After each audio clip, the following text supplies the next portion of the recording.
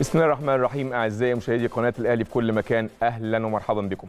حابب بس في البداية قبل ما ندخل في موضوع النهارده واللي هو ماتش ال- الأهلي وسيراميكا كليوباترا إن أنا أتقدم بخالص العزاء في وفاة الكابتن وشيخ المدربين كابتن طه الطوخي مدرب النادي الأهلي ومنتخب مصر السابق.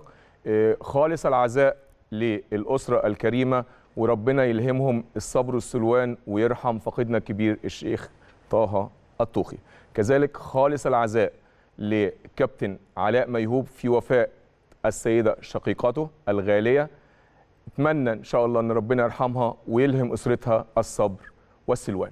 ندخل بقى على ماتش النهارده ومباراة جديدة بين الأهلي وسيراميكا كيلوباترا في الجولة السادسة من الدوري الممتاز والتي ستقام إن شاء الله باستاد السويس. بالتأكيد ماتش النهارده زي أي ماتش للنادي الأهلي. سواء ودي أو آه، مباراة حبيه ماتش مهم لأنها بتساوي ثلاث نقط. والنادي الأهلي دايما زي ما عودنا متعود على المكسب. المكسب وبس. خطوة جديدة في طريق الحفاظ إن شاء الله على بطولتنا المحببة للنادي الأهلي وجماهيره. الدوري الممتاز البطولة اللي اتكتبت باسم النادي الأهلي. ضاعت منه أو راحت لبعض الأندية الثانية عدد قليل جدا ولكن ده وضع طبيعي لأن النادي الأهلي بيمتلك فيها 42 لقب وهو طبعا رقم قياسي زي ما إحنا عارفين. مش عايزين نتكلم كل مرة ونقول إن النادي الأهلي هو اللي بيحطم الأرقام القياسية ده الكل عارف كده كويس. ماتش النهارده طبعا جمهور النادي الأهلي منتظراه. ليه منتظراه؟ منتظرة طبعا إن النادي الأهلي يكسب بعد التعثر الأخير مع آه، وادي دجلة والتعادل اللي حصل برغم إن إحنا أدينا مباراة جيدة. ولكن كمان النا- جمهور النادي الأهلي النهارده عايز يشوف الوافد الجديد الكونغولي والتر بواليا. راس الحربة اللي نأمل إن شاء الله بعد انضمامه الفريق الأول للنادي الأهلي يكون قوة هجومية كبيرة وإضافة للقوة الهجومية اللي عندنا.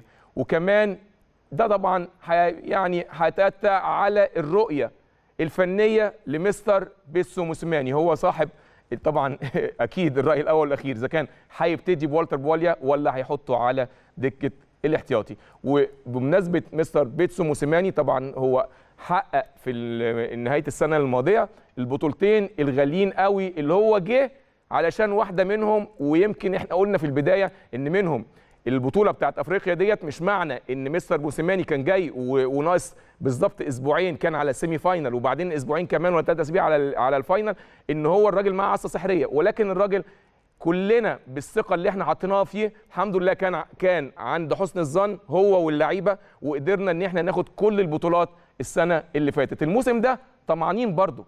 إحنا طمعانين إن إحنا برضو زي السنة اللي فاتت ما حصلت نجيبوا الثلاثية ونكمل الثلاثية بتاع السنة اللي فاتت بالرباعية والخماسية. وكمان عندنا أمل إن إحنا نظهر بمظهر مشرف في كأس العالم للأندية. وده خلي بالكم مش غريب على النادي الأهلي وجهازه الفني ولاعيبته لأن النادي الأهلي دايما هو الأول في أفريقيا وفي الشرق الأوسط وبينافس زي ما هنشوف الفترة اللي جاية أساطير العالم على زعامة كرة القدم.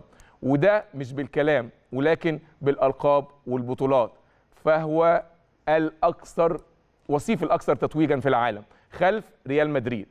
وقبل بقى ما نتعمق في الحديث عن مباراة النهارده بالتأكيد كان في حدث كبير النهارده منذ ساعات.